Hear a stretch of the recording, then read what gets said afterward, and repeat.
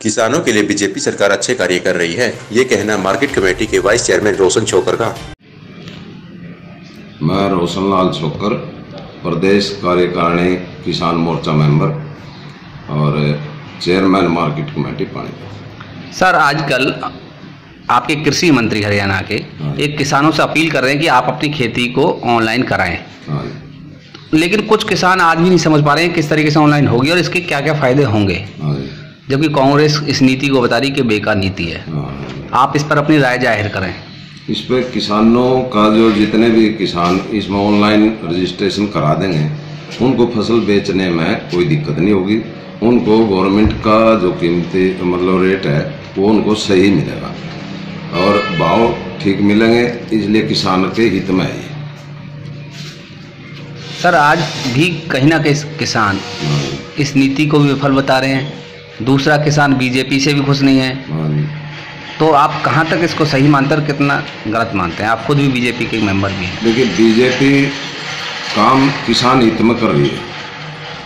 जितना भी कार्य है वो चाहे बाजरे का है धान का है कपास का है कोई सी भी फ़सल का तिलहन का है दलहन का है जो भी फ़सलें हैं वो सभी उनके इतने अच्छे भाव हरियाणा में और देश में फ़सल के दिए हैं बीजेपी ने। तो ये किसान हित में कार्य कर रही है। लेकिन इसका रिज़ल्ट आने वाली ये फ़सल बिकेगी उसके बाद मिलेगा किसानों को। इससे पहले क्योंकि अभी पैसे नहीं डले उनकी जेब में तो जब तक पैसा नहीं आएगा किसान के हित में तो वो उनका लाभ नहीं मिलेगा। छोकर जी अगर हम आपसे पूछें विस्तार से कि किसान को किस ऑनलाइन होने के बाद किस तरीके से फ़ायदा सीधा सीधा पहुंचेगा इस पर आप बताएँ। उस पर किसान अगर पाँच एकड़ फ़सल का जब धान का ये कहेगा कि मेरे पास पी आर धान पाँच एकड़ है, या दो एकड़ बाजरा है तो जब दो एकड़ का रजिस्ट्रेशन किसान करा देगा तो उसका दे, दो एकड़ गवर्नमेंट अपने भाव में खरीदेगी गवर्नमेंट के रेट में। अगर जो वो कम कराता है तो किसान की फ़सल बिकने में दिक्कत आएगी, ज़्यादा कराता है तो भी। तो इसलिए एक्चुअल जो है ना, किसान अपना रजिस्ट्रेशन करा ले, और उसमें उसको लाभ मिलेगा फ़सल आप मार्केट कमेटी के चेयरमैन भी हाँ लेकिन कहीं ना कहीं पूरे हरियाणा में सरकार आज भी बिचौलियों को खत्म नहीं कर पाई है।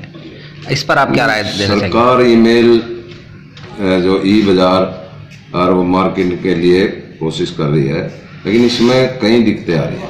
किसान भी नहीं चाहता आड़ती भी नहीं चाहती। उसका एक रीजन है, क्योंकि किसान अभी आई है कि भाई बाजरे का जो है ना, हम किसान के खाते में पेमेंट देंगे। अभी सरकार के आदेश हुए हैं बाजरे को ऑनलाइन खरीदेंगे और उसको किसान के खाते में डायरेक्ट पेमेंट देंगे। तो इसलिए उसमें कई किसान जो है ना जो कर्ज बंद नहीं है वो तो ले लेगा। जो कर्ज बंद है उसमें थोड़ा हा पेमेंट का आपस में दिक्कत आती है। इसीलिए आड़ती और ये भाई ऐतराज करते हैं। अंत में छोकर जी किसानों के लिए कोई संदेश देना चाहेंगे आप? हाँ किसानों के लिए ये संदेश है कि जो अभी ऑनलाइन इनके रजिस्ट्रेशन हो रहे हैं, वो सभी किसान भाई अपना समय पर रजिस्ट्रेशन करा लें। और जो कि फ़सल बिकते समय ये अपराध नहीं होगा। हमारे कृषि मंत्री ओम प्रकाश धनखड़ जी, हमारे मुख्यमंत्री जी मनोहर लाल खट्टर जी, ये सब जो नीति लगा, ले रहे हैं, वो किसान हित में लेकर आ रहे हैं। जो किसान का आने वाले समय में हित होगा, फ़ायदा होगा, लाभ मिलेगा उनको और इसमें हमारे मैन रोल समय सिंह भाटी, प्रदेश अध्यक्ष, वो भी अदा कर रहे हैं। तो ये किसानों से मैं यही अपील करता हूँ कि इसको जल्दी से जल्दी रजिस्ट्रेशन करा लें।